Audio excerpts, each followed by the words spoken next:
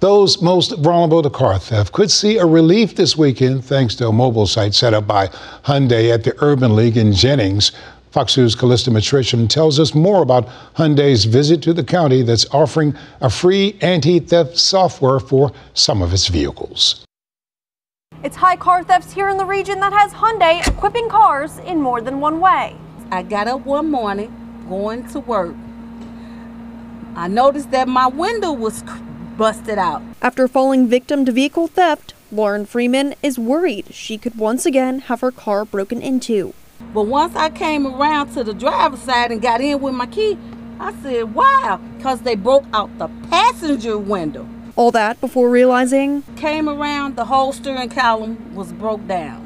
Similar circumstances drawing long lines of Hyundai makes and models most susceptible to theft. What the police tell us is obviously they have a high theft rate and they want help. According to St. Louis City, there was just shy of 2,500 car thefts in 2022. Fast forward to the first four months of 2023, and that number was at nearly 4,400. Between Hyundai and Kias, thefts rose 673% in that time frame. The people who have their cars stolen immediately fall into a spiral.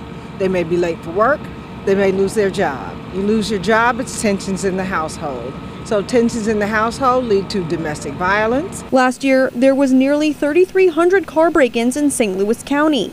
So far this year, there's been almost 1,700. More than half of those, Hyundai and Kias. In the county like St. Louis, where we know we have people that need this, it's important for us. Dave Vandelin, Vice President of After Sales at Hyundai, says its models built before 2021 with base trim features, key ignitions, and a lack of immobilizing anti-theft devices, allowing thieves to bypass vehicles' security features. It addresses a very specific theft reason um, that's popularized on, on social media. Yes, this is crime solving, not problem solving, crime solving. More than 3.8 million cars affected, and within a few months, Hyundai has addressed nearly 45% of those vehicles. It's 6,000 cars getting equipped with newer software programming every day.